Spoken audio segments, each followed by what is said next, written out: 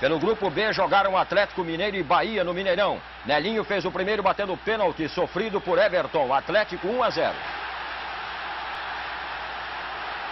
Reinaldo em impedimento fez o segundo, Atlético 2 a 0. Reinaldo deixou Everton livre para fazer o terceiro, Atlético 3 a 0. Outra vez Reinaldo pôs Everton na cara do gol. Era o quarto, Atlético 4 a 0. Até que Reinaldo também recebeu um presente de Catatal para fazer o quinto, Atlético 5 a 0. Aí Reinaldo devolveu o presente a Catatal, que fez o sexto e último gol. Final, Atlético 6, Bahia 0.